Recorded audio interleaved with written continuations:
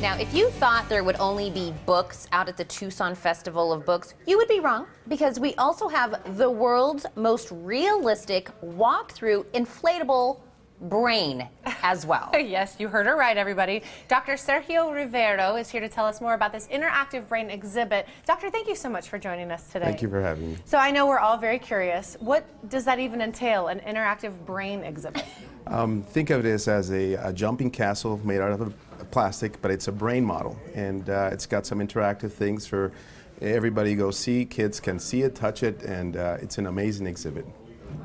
So this is going to be a little bit of education, a little bit of fun, and we're bringing this all out to the uh, Tucson Festival of Books. Yes, it is uh, education, and the way we're doing it is hiding in between something that's interesting and funny, and uh, when you walk through it, you just see the, how amazing this thing is, and uh, you know, kids love it.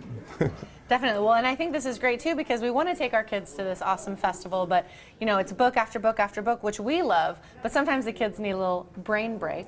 Oh, I You're welcome. You're welcome. So this is really perfect. So where can we find you at the festival? At the uh, middle across from the cafeteria. Um, so in the booth uh, 4, uh, 349. And I know, of course, we're going to have the big inflatable brain, which mm -hmm. I mm-hmm. can't believe I'm, that's a sentence I'm saying, but we're going to have that. But you guys are going to have a lot more out at your area. Yes, there's a lot of things. There's activities for kids. There's free books, face painting, games. So there's a lot of things that uh, everybody can see and can uh, participate in.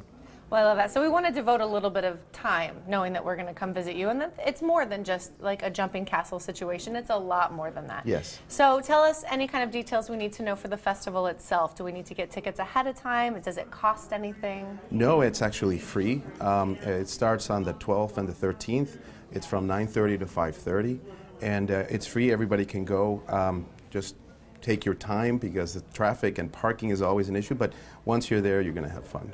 And who exactly is bringing this exhibit to the festival? Uh, we're called Center for Neuroscience, uh, but uh, we're part of a foundation called Each Brain Matters.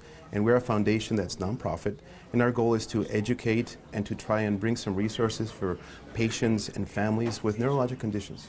Wow, so tell us, kind of dive in a little more to that topic. How are some of the ways that you are doing that? So we actually um, participate in education, for instance, in MS and Parkinson's, uh, prenatal care, uh, we have multiple activities that we do over the year, um, and we have uh, we're our future is to start something called a brain bus, and uh, that's something that we're going to try and do later on. Is have um, a bus set up with all these activities for kids to participate and learn about the brain and every neurologic condition that can help them educate them.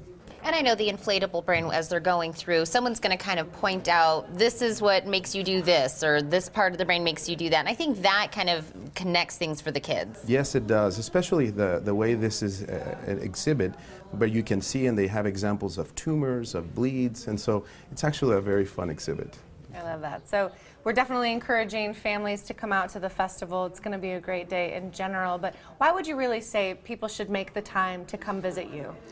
Well, I think the first thing is education. Um, we're giving out free books. It's a way to promote health, promote uh, at least the foundations for someone to be interested and wanted to learn more. Um, it's a way that kids can see this and say, oh, I'm interested. I'm actually, I want to look at this a little bit more. I love that. So if we have kids maybe in our family that are looking into maybe a medical industry or specifically neurosurgery, this is really the kind of the, the best way to introduce them to this because there's not only going to be literature and, and fun ways of learning about it, but you'll also have people on hand there to answer questions. Yes, correct. We will be there.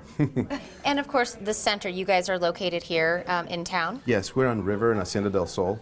And so we're, we're there, the Center for Neuroscience. We're a group of physicians, neurosurgeons, neurologists, pediatric neurologists, pain specialists, nurse practitioners. So we're a big group uh, dedicated to treatment of neurological conditions.